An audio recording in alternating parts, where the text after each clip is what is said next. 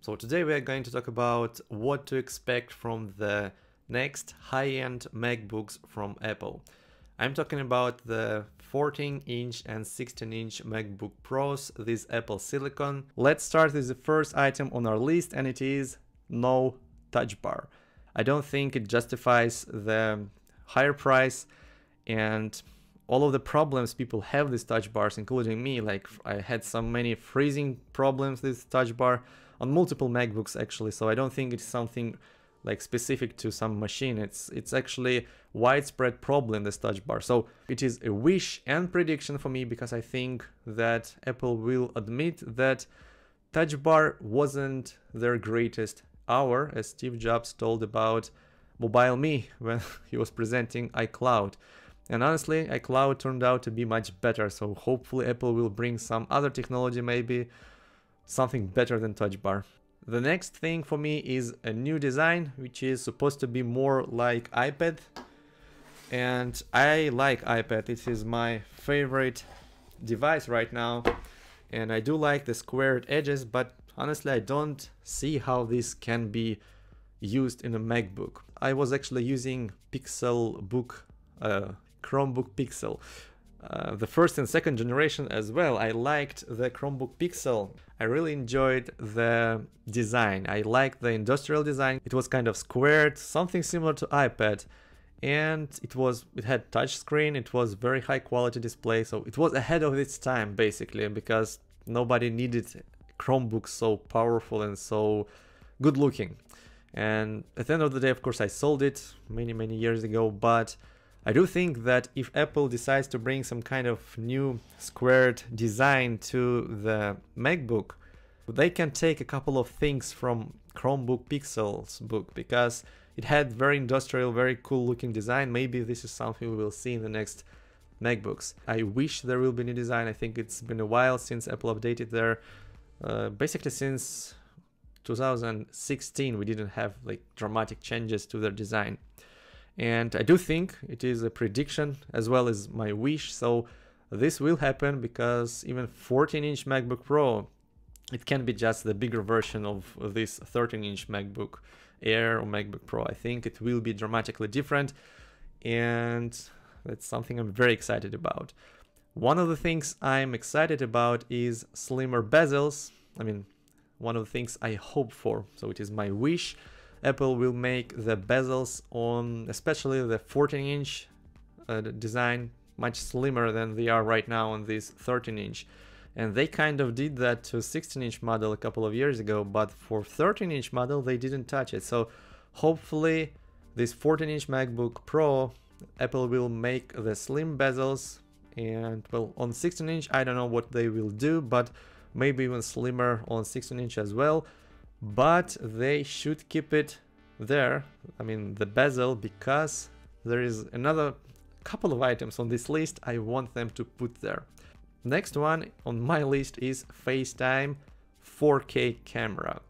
And I know it's too optimistic to be true because even on this uh, MacBook Pro 13 inch or MacBook Air I have in front of me they have 720p camera.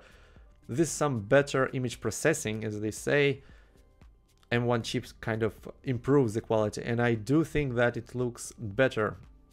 But 4K on MacBook I don't think it will happen so it's not a prediction. But I wish it will. And they can do that by just taking the camera they have on iPhone and put it in the bezel here. Obviously this is much slimmer than what we have in iPhone so the back panel of this display panel of the MacBook should be much thicker. But I guess if they will change the design some kind of dramatic way, maybe this is something they can do. Maybe instead of having this like rounded edges, they can make them square. And by doing that, they can in include the bigger sensor, basically what we have on iPhone 12 or even 11 I think was recording 4K video just fine. Another thing this camera from iPhone can bring to the MacBook is Face ID. That's something I was kind of hoping for for a couple of years now, but because I do enjoy it more than fingerprint reader, obviously this COVID and everything, right now fingerprint reader is very welcome but well we, we do have it on this macbook air in front of me and i do think that both 14 and 16 inch will continue to have the fingerprint like power button. Even though we might lose the touch bar the fingerprint is going to stay there for sure. It's very popular. I think it's very cool to have on the macbook and it's cool. But if we have face id on the macbook that's a different story because i don't know about you but i do use MacBook without my mask most of the time. When it comes to phone, I walk around, maybe outside, I do wear a mask often, so Face ID on a phone is kind of not very perfect right now. But for MacBook, I think that Face ID will make more sense, to be honest, at the moment. And well, if we will have the 4K FaceTime camera, the same we have on iPhone, why not put all of the other sensors and make the um, MacBook also work this Face ID.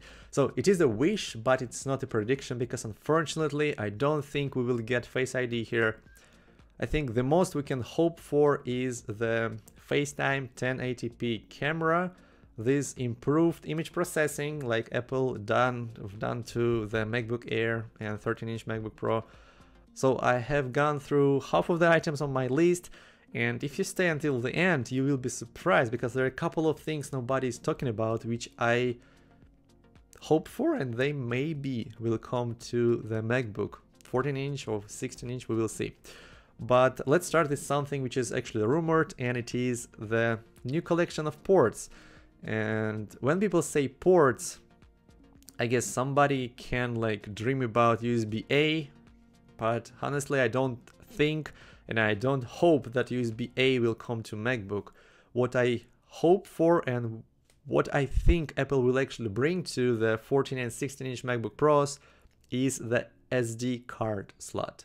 I think that SD card slot will be very welcomed by the photographer community, videographer community, all of the YouTubers and basically everybody who's using the camera because I guess I can leave this like absence of HDMI cable because we have USB-C and Thunderbolt cables which provide very good, very like perfect connection for the external displays. But when it comes to SD cards, there is just no way around it. You have to buy a dongle or you can connect your camera of course directly to your computer. And there are so many situations when it's not possible. Maybe you need to use your camera at the same time as you like maybe switch the card and you want to copy the footage to your mac. And you can do that if unless you have a dongle this sd card slot in it. And unless apple releases their own apple camera which will somehow automatically like maybe using this airdrop like technology bring the footage from your iPhone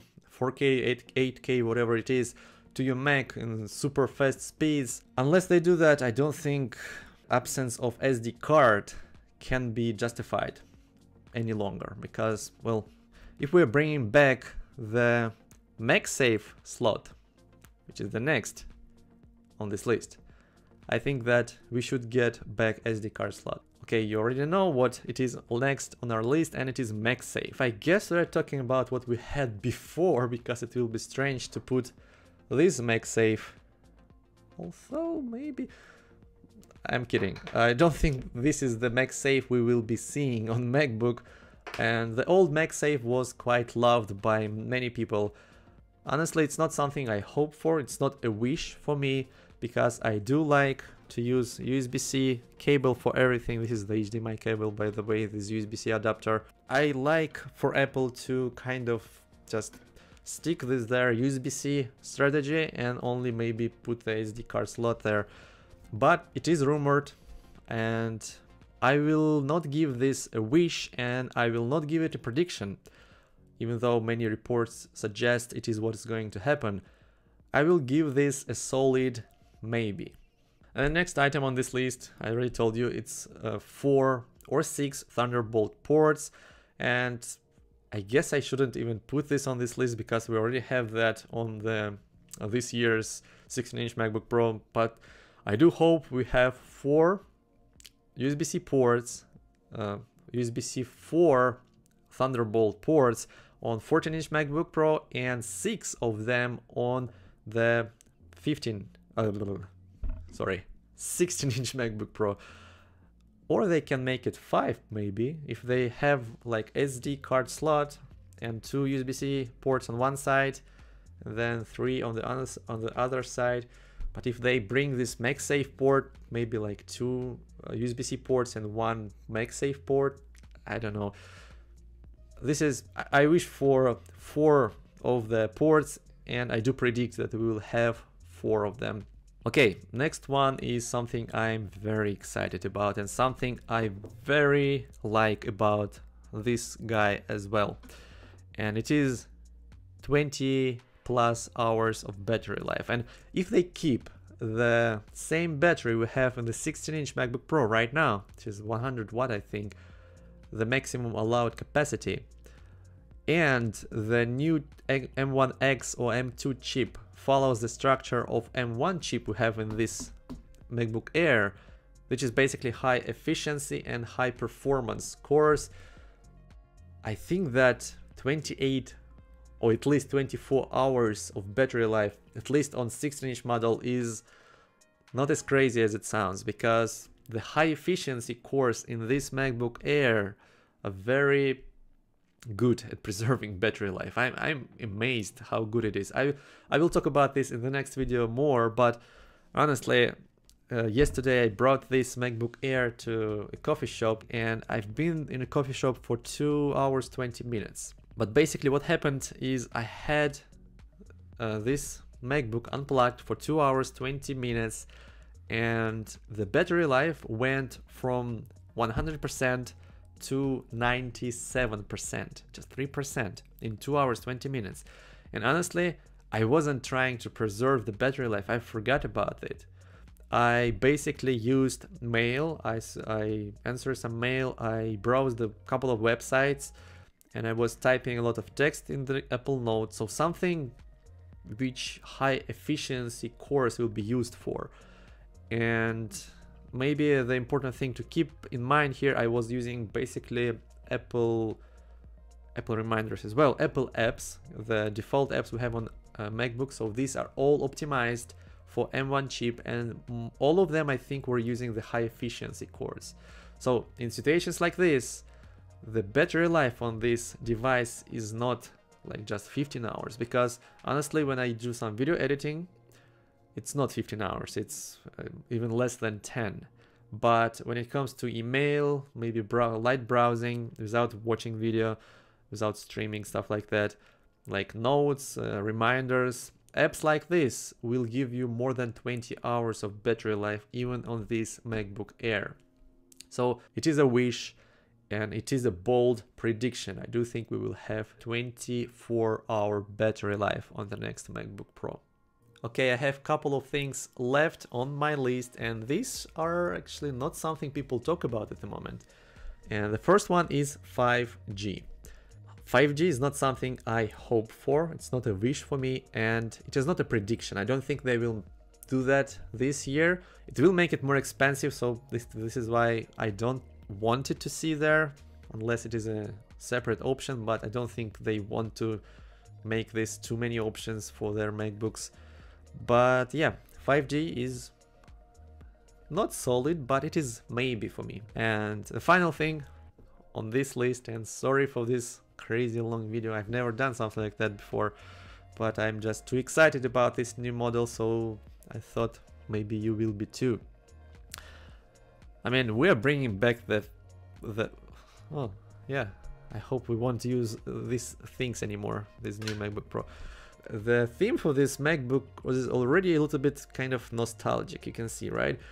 Like SD card slot, MagSafe port. I think that there is one thing they can do to the 14 and 16 inch MacBook Pros, the new models this year, which will be the perfect one more thing.